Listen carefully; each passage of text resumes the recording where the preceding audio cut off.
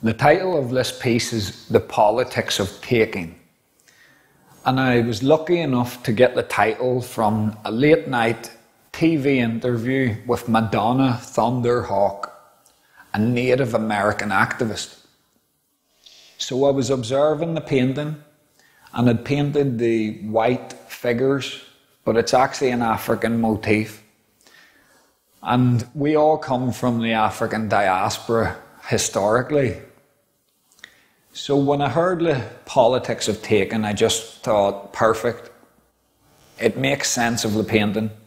I see African masks behind, and the colours I've used represent my experience in Ivory Coast.